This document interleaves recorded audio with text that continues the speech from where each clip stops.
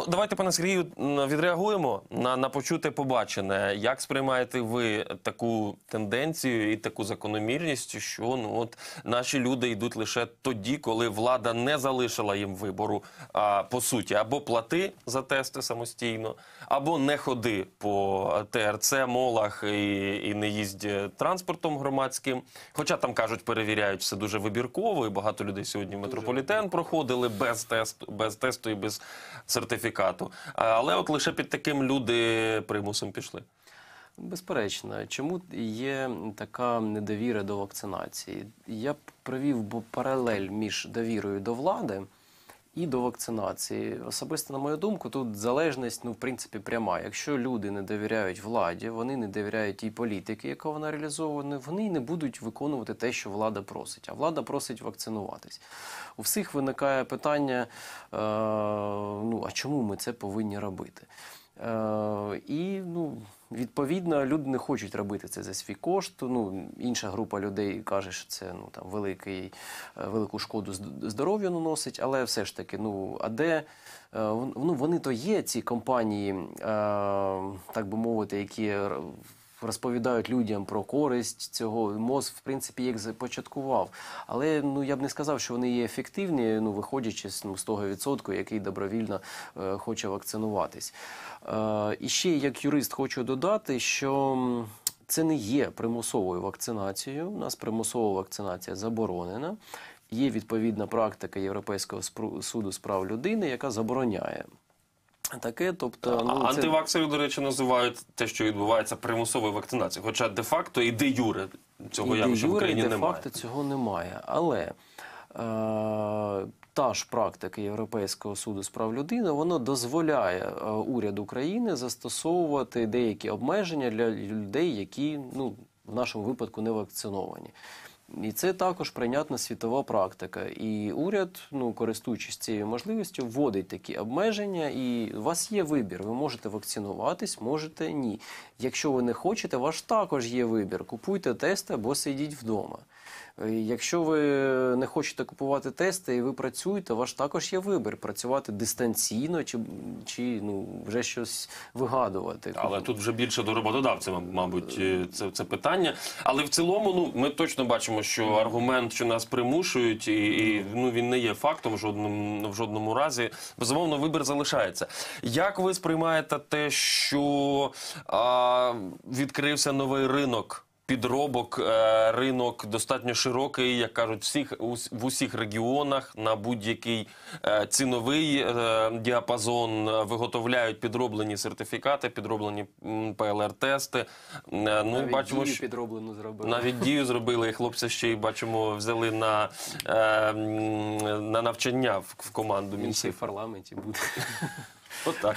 Ну а це що це? Це вміння українців підлаштуватися під будь-які реалії і заробити навіть на цьому?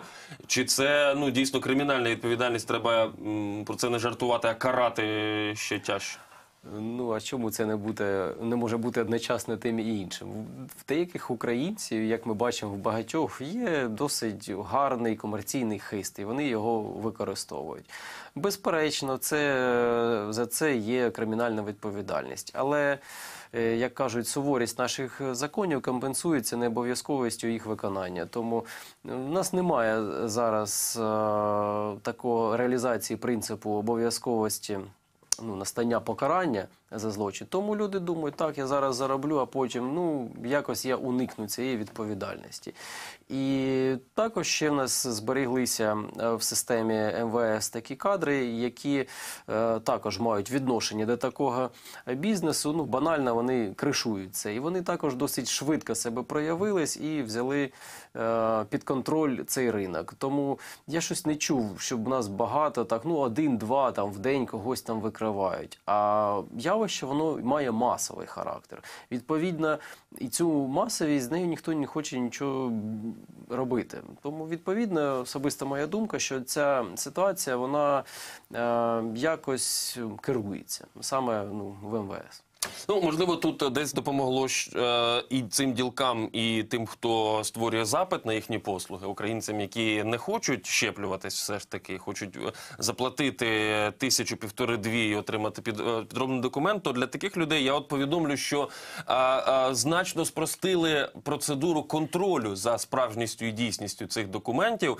А, в додатку дія простому для простого користувача можна відсканувати той QR-код, який є на, на кожному сертифікаті, і перевірити. Тобто, якщо ви покладаєте надію на те, що ну от ніхто не перевірить, не у всіх є ці зчитувачі, ще цифровізація не досягла е, усіх е, невеличких куточків України, маленьких міст, то ні, все дуже просто. Будь-яка людина, в якої є смартфон, вона може перевірити справжність вашого ковід-сертифікату. Тому ну ми також е, долучаємося до, е, до того, що не радимо е, підробляти ці документи. Ну і врешті-решт це кримінальна відповідальність. Дійсно, такою вона є.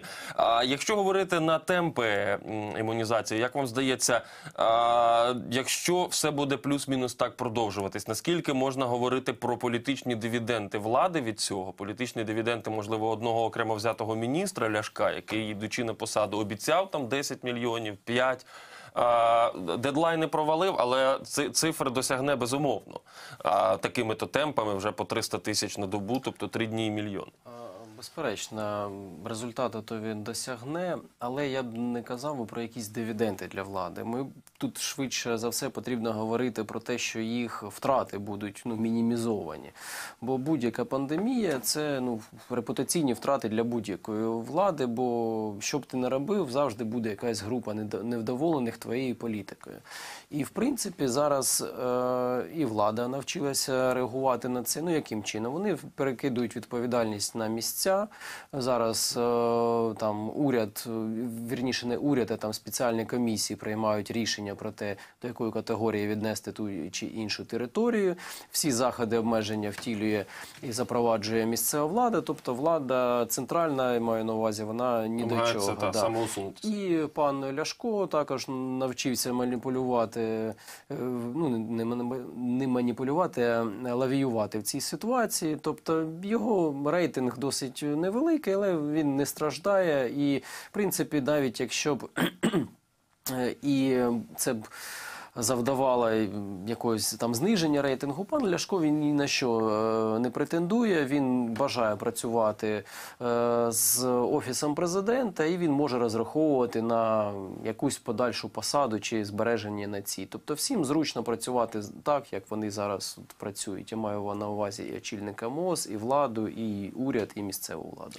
По е, тій частині обмежень, яка викликає достатньо багато питань, принаймні у мешканців столиці, але подібні е, обмеження можуть діяти і в інших містах, особливо великих. Це така от робота специфічна громадського транспорту. З одного боку, КМД ухвалило рішення його не закривати е, і е, перевіряти ковід-сертифікати або тести вибірково. Тобто не, не навантажують нікого цією додатковою роботою, ні водіїв.